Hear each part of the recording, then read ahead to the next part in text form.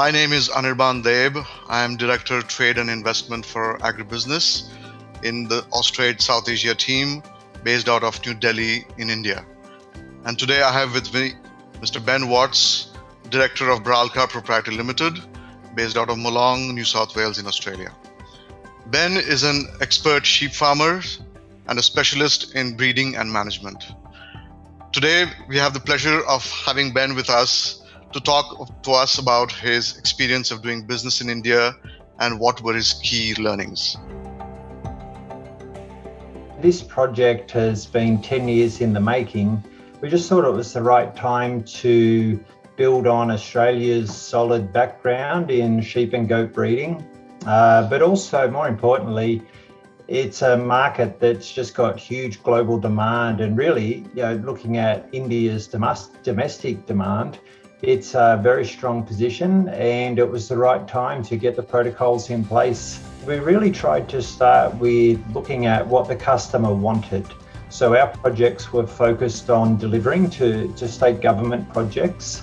It was uh, with the assistance of austrade that we could get uh, the initial meetings up and going.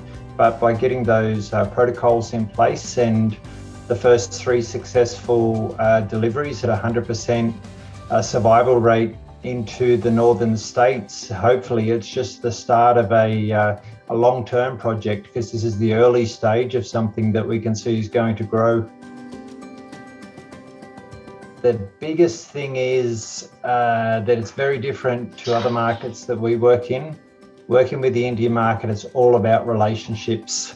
Uh, my suggestion to other people would be if they haven't already got an agent on the ground in India, really need to engage with a, an agent with uh, trust and similar values, but also an agent with some runs on the board, some, some experience.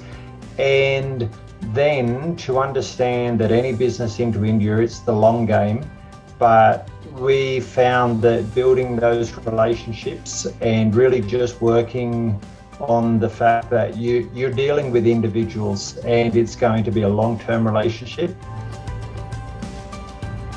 Austrade facilitated some meetings in New Delhi and then some uh, other regional meetings within India. The other final thing I would say is for Australian companies to reach out and work with Austrade. Uh, Austrade's there to facilitate and guide uh, our businesses. And without that, uh, sometimes frank and honest guidance, it's very easy for us to start to move off track.